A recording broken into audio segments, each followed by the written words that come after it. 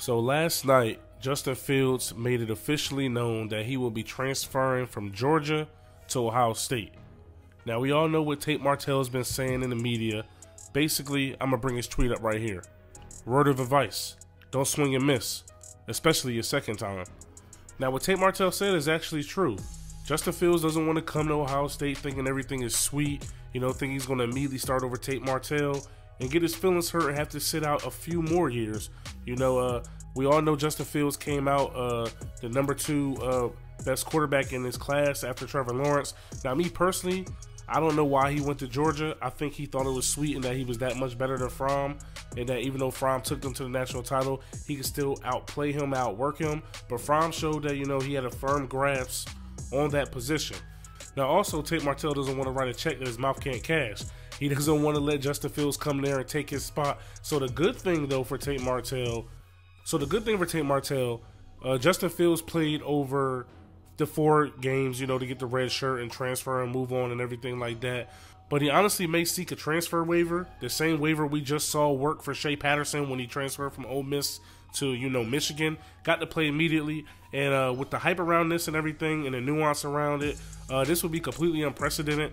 And uh, it actually will probably make for a pretty crazy QB battle. Now, I'm not sure the type of teammate that Tate Martell and Justin Fields are. I'm not sure if they're going to have some real animosity against each other. Now, you know, as men, you're definitely going to have that competitive factor into it, and you're going to go head to head. You probably won't speak to each other like that. But one thing I, I, know Ohio State really doesn't want is I'm pretty sure they don't want a split locker room. I'm pretty sure they don't want Team Tate and Team Justin.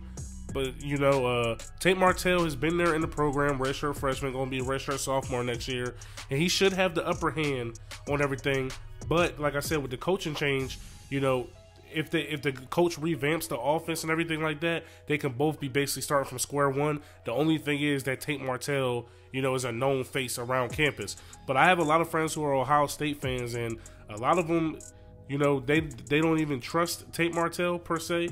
You know what I mean? Uh, they necessarily don't know if he can even really throw like that. But I say the same thing about Justin Fields. He was pretty efficient in Georgia, but for the most part, he was running the ball, handing it off, and everything like that. But but things should be interesting, especially when you know both quarterbacks were you know stars on the show. QB one, Tate Martell was the first season, and then Justin Fields was the second season. So it's kind of like the stars are aligning perfectly to really see you know who's two of the best quarterbacks from that show.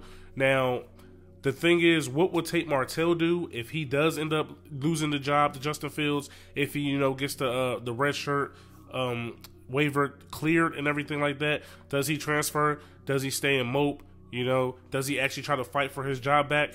Now, if there is one thing we do know about Tate Martell, you know, I mean, he does have that certain cocky, confident bravado about him. So I don't think he's going to lay down and die by any means. I actually think this is going to push him and 100% make him work harder. But you know, and, you know, it's, it's a crazy business because you know you're waiting in the wings, thinking you know once Haskins leaves, you're gonna you're gonna come and do your thing. But the other thing it could do to him, like something it would probably do to a lot of people's egos, is like uh, Ohio State is really, you know, showing you what your worth is. You're expendable. You know, uh, which uh, which most people are in sports. Nobody, except for a select few, are like cream of the crop. Nobody can take their spot, but you know it's got, got to be that next man up mentality. So that's got to mess with your uh, that's got to mess with your ego a little bit. You know, they're basically saying like, hey, you're good, but we think this dude might be better, so we're gonna go out and you know recruit him to come to the program, you know, because it's not Ohio State's fault. They're not going to turn down, you know, one of the better quarterback, young quarterbacks in the nation. That would be silly to do that in college football. You're constantly trying to bring in the best talent year after year after year after year. So if a freshman ends up taking a, a junior spot, so be it, because the goal is to win and to win national championships. Nonetheless, though, guys, this should be interesting. Let me know in the comment section below who you guys want to see become a starter. Do you guys believe Tate Martell has what it has what it takes to you know uh, keep Justin Fields off his back and uh, you know make him his backup because you know uh, Justin Fields if he does get this waiver he will be one year behind Martell. So say Martell wins the job, Martell will be the starter for maybe this year or next year, or just this year if he does well enough and leave for the draft. And then Justin Fields could come in right behind him and take the spot. So you know, I definitely think there there are one A and one B right now. It's just in the spring, one of those dudes are going to have to separate themselves from the other to take the spot. But all of this is, you know, just hearsay until we find out if Justin Fields does indeed apply for that transfer waiver and becomes, you know, an instant QB battle. But until then, I, I, I would say that Tate Martell, you know, it's his job to lose. He believes he's going to start 100% as he should. But um, yeah, I just wanted to react to that quickly, man. So hopefully you guys enjoyed the video. If you did, stop and smash that like button. Hit me up in the comment section below. Let me know if you guys want to see more videos like this, reaction videos, and you know more news videos and everything. I'm down to do it. You know what I'm saying? Definitely as you know a different vibe to the channel here and there. But subscribe if you're new. It's your boy Uncle Sam's Reject, arcadegames.com. I'm out of here. Peace.